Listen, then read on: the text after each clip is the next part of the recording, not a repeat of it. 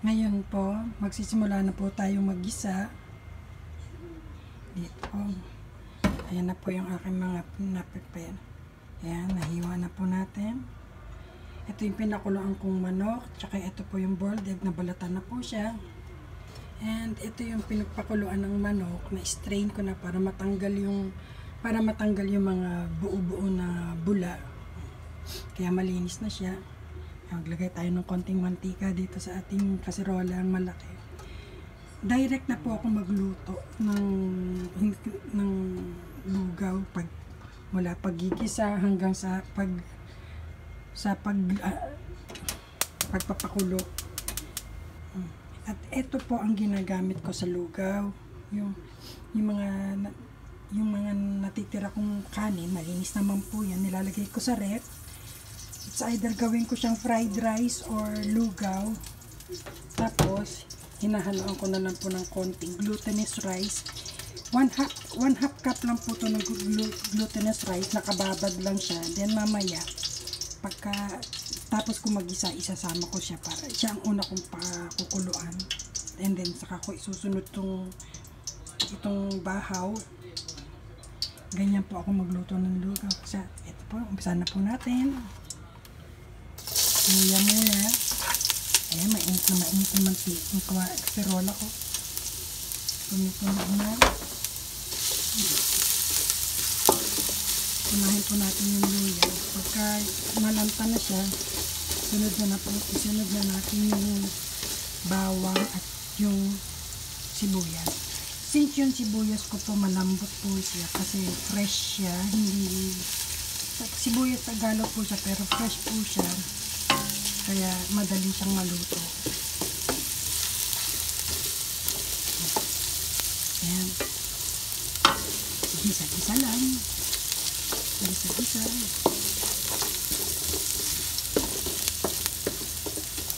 Iwasan lang po natin masunog yung luya. Kasi masarap ang luya pagka hindi nasusunog. Kasi po mahilig ako sa luya.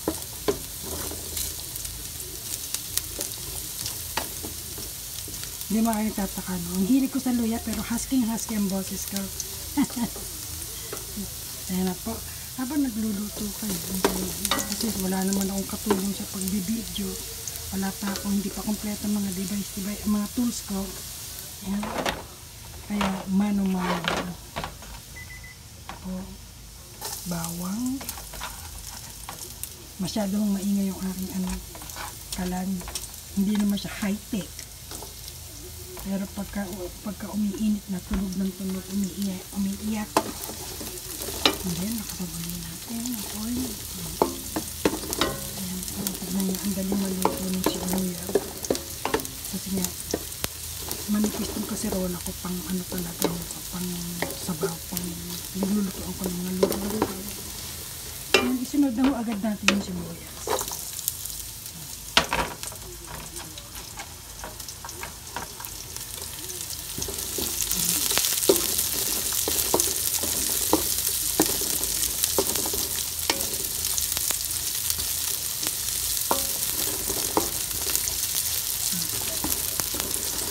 Simple lang po ako magluto ng lugaw kasi yun ang nakadisnang ko talaga, yung traditional na lugaw natin.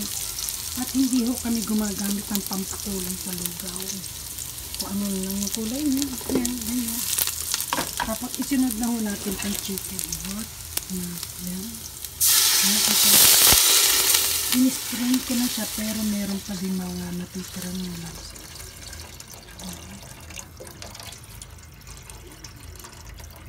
So, na po natin isama yan. Huwag na po natin isama yan. Hindi pa kukulain yan.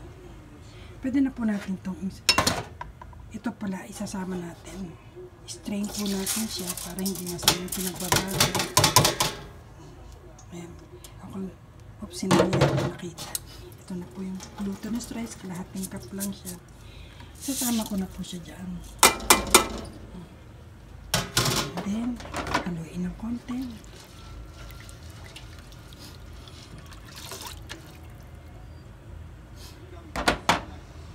Hindi ko na muna dadagdagan ng tubig dahil pa, palalambutin ko muna yung glutinous rice and then saka ko isasama po yung bahaw Pwede na po rin, pwede na rin po natin itong isama.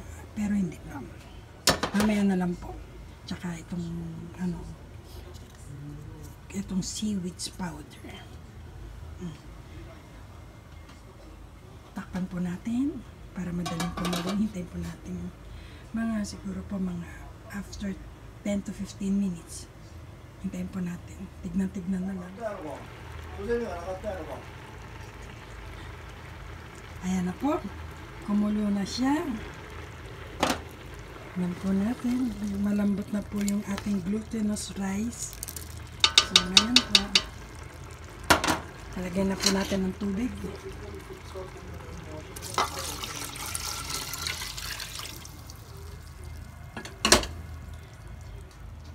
Tubig. Tapos ito pong baho, pwede na po nating ilagay ito kahit hindi po siya kumukulo. Yan po.